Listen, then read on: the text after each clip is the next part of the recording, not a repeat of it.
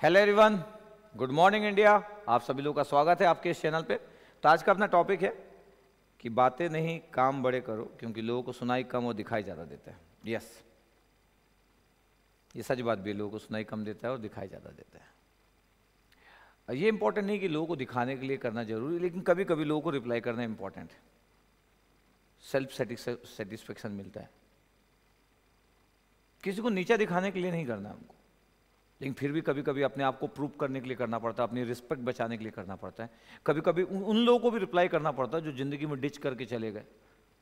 जो ज़िंदगी में इसलिए चले गए कि हम उतना आगे नहीं जा सकते उतना सक्सेसफुल नहीं बन सकते इसलिए लोग छोड़ देते रास्ते में। या हमारी एबिलिटी भी जिनको शक होता है वो लोग भी हमको रास्ते में छोड़ देते हैं।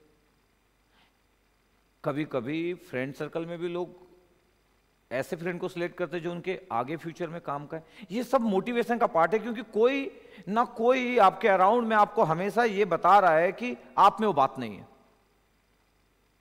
इससे अच्छा क्या हो सकता है कि कोई ना कोई आपको ये बात हमेशा बता रहा है डायरेक्टली इनडायरेक्टली कि आप में वो बात नहीं है।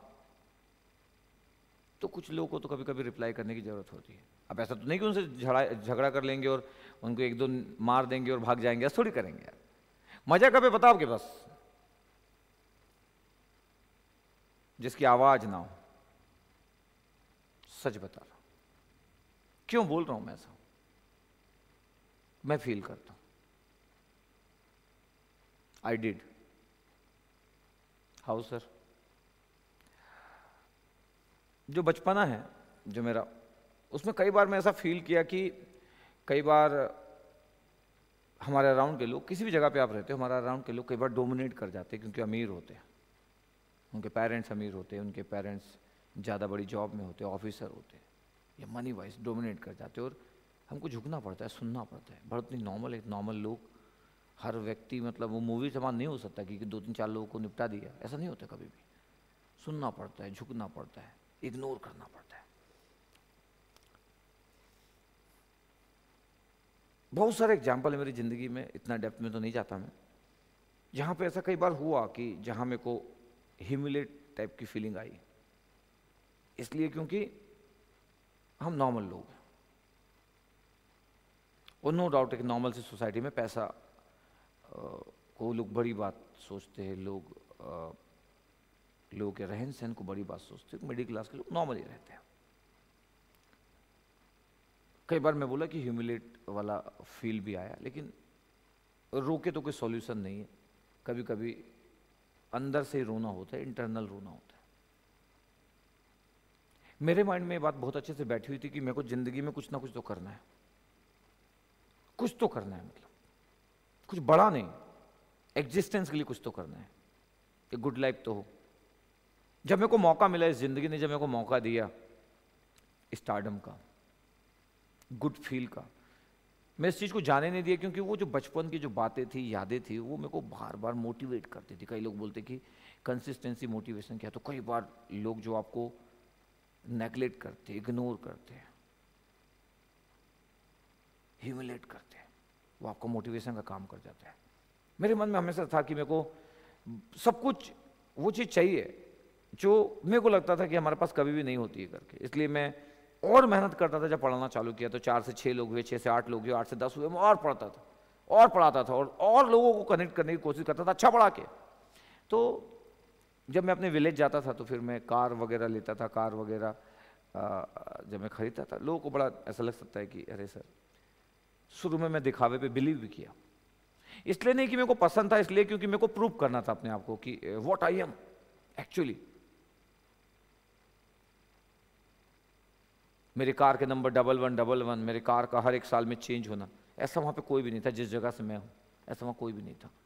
क्योंकि वो बचपन की चीज़ें भरी पड़ी थी कि यार मेरे को कुछ करना है करके। क्योंकि कई बार इग्नोरेंस और बहुत सारी ऐसी चीज़ें होती जो आप शेयर नहीं करते फ्रेंड सर्कल में। कई बार कई बार हर चीज़ फ़िज़िकल नहीं होता, कई बार इमोशनल होता है। लोग अपनी बातों को इस तरीके से बोलते हैं कि आप इमोशनली ब्रेक डाउन हो जाते हो।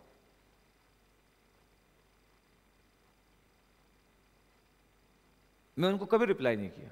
आज भी रिप्लाई नहीं किया। लेकिन रिप्लाई उनको मिल गया। रिप्लाई उनको मिल गया। मेरे को देने की ज़रूरत नहीं हुई। भले चाहे वो दो साल में मेरे को देखे होंगे अपने रास्ते से गुजरते हुए, लेकिन काफ़ी था उतना। काफ़ी था उतना। तो मेरी ज़िंदगी में मोटिवेशन का काम किया, लोगों को, लोग जो मेरे को ये फील कराते थे कि तुम कौन हो? इससे मेरी कंसिस्टेंसी बनी रही। अच्छा करने की। कभी मैं सेटिस्फाइड नहीं हुआ। कभी भी नहीं हुआ। अब तो ठीक है, अब तो सोबाजी वाला पार्ट चला गया। यंग एज में था। यंग एज में। अब अब नहीं है सोबाजी वाला पार्ट लेकिन यंग एज में था। क्योंकि मेरे को प्रूव करना था, दिखाना था कि मैं कुछ हूँ। ऐसा नहीं है कि मैं कुछ भी नहीं हूँ। तो मैं वही बोल रहा हूँ कि कभी कभी लोगों को सुनाई कम देता, दिखाई ज़्यादा देता है। आप क्या चिल्ला चिल्ला के बोलोगे कि मैं कौन हूँ करके? इससे फ़र्क नहीं पड़ता। लोगों को दिख जाना चाहिए। आप रास्ते से गुजर गए और आपको दिख जाना चाहिए कि आप क्या कर रहे हो? आप कौन हो?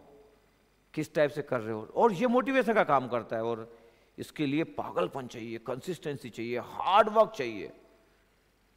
आपको लाखों लोगों से अलग हो जाना है। जब लोग ज़िंदगी जी रहे, जब लोग ज़िंदगी जी रहे, तब आप आप अपने ड्रीम को जीने के लिए वास्तविकता में जो ज़िंदगी जीने के लिए ज़रूरी है, वो आप कर रहे हो। जब लोग ज़िंदगी जी रहे मज़ेदार, तब आप अपने आप को प्रूव कर पाओगे। एक नॉर्मल व्यक्ति अदरवाइज़ प्रूफ नहीं कर पाएगा। कैसे प्रूव करेगा एक नॉर्मल व्यक्ति अपने आप को? कैसे? तो स्टोरी नॉर्मली चालू होती है। उस स्टोरी को बिग बनाते हैं हम। हमारे ड्रीम, हमारा मोटिवेशन हमारा कॉन्फिडेंस हमारा कंसिस्टेंसी हमारा अटेंशन हमारे थॉट लाइफ के रिस्पेक्ट में हमारा एटीट्यूड ये सब मिलके हमको वहाँ पहुँचा सकते हैं जहाँ हम कभी सोचे नहीं थे। मेरी ज़िंदगी का ड्रीम में मारुति कार कभी नहीं आई। मेरी ज़िंदगी में जब भी ड्रीम आते थे, बचपन में कोई बाइक ही आती थी ड्रीम में। कभी कार का ड्रीम नहीं देखा मैं, क्योंकि मेरे इक्वेशन में यह था कि कार तक पहुँच नहीं पाएँगे। समझ मैं क्या बोल रहा हूँ? मेरे ड्रीम भी छोटे होते थे। बाइक स्कूटर इतने ही आते थे क्योंकि मेरे को कभी नहीं लगता था कि कार तक पहुँच पाएँगे। लेकिन हार्ड वर्क ने देखो कहाँ से कहाँ पहुँचा दिया। कंसिस्टेंसी कंसिस्टेंसी से देखो कहाँ से कहाँ चीज़ें हो गई। और आज भी मैं वैसे ही हूँ। इसलिए कभी कभी रिप्लाई करना इंपॉर्टेंट सेल्फ सेटिस्फेक्शन के लिए. वो सेल्फ सेटिस्फेक्शन मिलता है जो लोग आपको डिच करके जाते जो लोग आपको ह्यूमिलेट करते जो लोग आपको इग्नोर करते हैं. बनता है. सच में बनता है. और इंसान है. ऐसा तो है नहीं कि क्या नहीं कर सकते सोचने की देर है. थोड़ा सा पागलपन. फिर देखो क्या से क्या नहीं होता है। कभी एक आधी बार अप्लाई तो करो, एक आधी साल के लिए। वन ईयर डेडिकेटेड टू पागलपन। पागल नहीं होना पागलपन। वन ईयर डेडिकेटेड टू एक बार चेक तो करो अपने आप को। पता तो चले कि हुआ रही हो नहीं। पता तो चले कि सच में कि कोई ह्यूमिलेट करता था तो वो सही था। क्योंकि आप सच में कुछ नहीं हो। कोई आपको डिच किया तो सही किया, क्योंकि आप सच में सक्सेसफुल नहीं होने वाले थे, इसलिए उसको लगा कि उसका फ्यूचर सेफ़ नहीं है। आपको कोई धोखा दिया तो आप डिजर्व करते थे धोखा देना। एक बार चेक करो तो सर। सच में आप डिजर्व करते हो क्या? हम्म? पता तो चले अपने आप से। पता तो चले। कभी ट्राई करो। एक दिन के लिए नहीं होता है सब। सर, एक वीक एक वीक में थोड़ी होता है यार। सर, एक महीना। एक महीने में सक्सेसफुल नहीं होते बनते। मिनिमम वन ईयर तो चाहिए। एक बार चेक तो करो। एक साल अगर आप ऐसा चेक करें अपने आप को ना अगले साल से आपको दुनिया में किसी मोटिवेशन की नीड नहीं होगी और किसी गाइडेंस की नीड नहीं होगी। अगले साल से लोगों को मोटिवेट आप करोगे गाइड भी आप करोगे। यकीन मानो। ठीक है? चलो, देखते मेरी बातों से कितना फ़र्क पड़ता है। Okay thank you very much love you all take care